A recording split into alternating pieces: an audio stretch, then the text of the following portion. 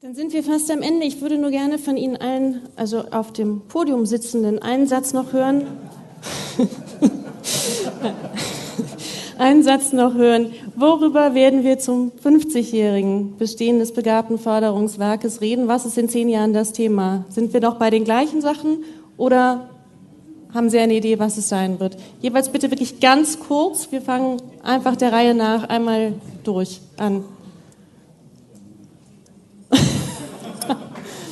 Auch ein Statement?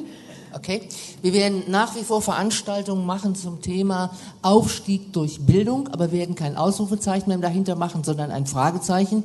Denn ich bin davon überzeugt, dass die Internationalisierung der Arbeitswelt äh, den politischen Glaubenssatz der liberalen Bildung gleich Aufstieg zunichte macht. Ja.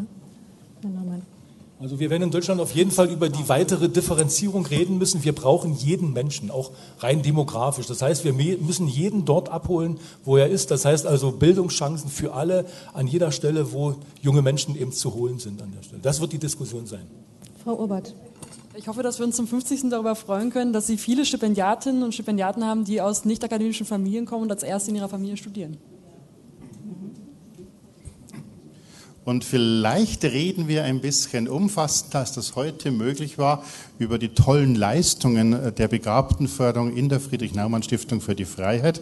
Sie haben ja gehört, ich konnte eine Evaluationsstudie machen. Äh, die Geschäftsführer zweier anderer Stiftungen haben, glaube ich, den Raum verlassen inzwischen, sodass ich sagen kann, die Friedrich-Naumann-Stiftung ist wirklich gut in diesen Dingen.